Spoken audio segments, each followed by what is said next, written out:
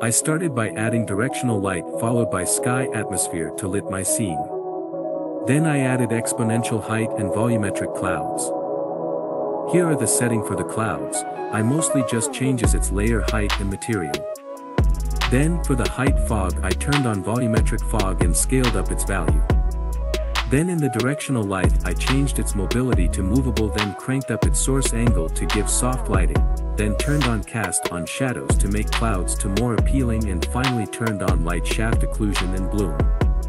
Next we add sky light changed its mobility to movable, then just turn off real-time capture and change source type to cube map so that we can use our HDRI, then I adjust source cube map for rotation and intensity according to my need. Now our lighting is done let's move to our meshes and environment.